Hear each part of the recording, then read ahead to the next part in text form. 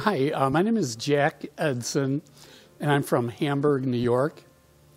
I started quilting back in 1976, which was the bicentennial year. I went to a couple of exhibits of American folk art and saw my first American quilts and really wanted to start collecting them, so I thought maybe I could make some.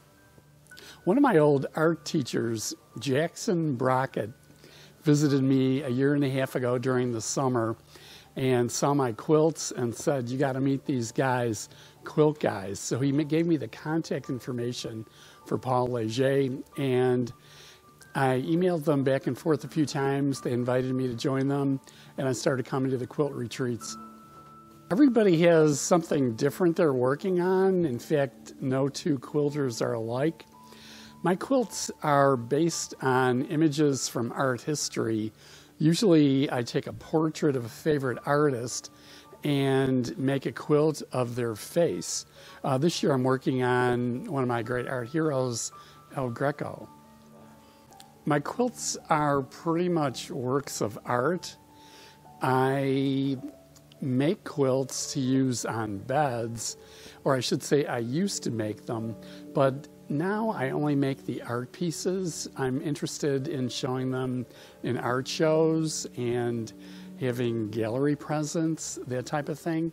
Although I've made dozens and dozens of quilts as gifts, donations, you name it.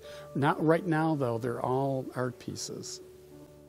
I've won a few awards here and there. Um, they're almost hybrids. They're, you know, unusual as quilts for art shows, and they're unusual as art objects for quilt shows.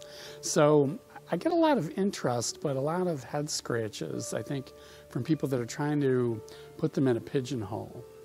I drove from Buffalo, New York, which is almost 400 miles away, and I really didn't know what I was going to be working on as I drove here. And I just sort of fell in love with the Vermont landscape, the colors, the shadows, the snow that's still on the mountains. So, this is really what um, grabbed me. I think it's kind of unusual for men to do quilting. Actually, historically, it is unusual.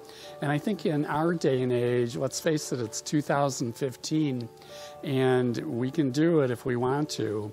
And I think in many cases, you need some buddies to kind of support you and encourage you. And this is where our group falls into place.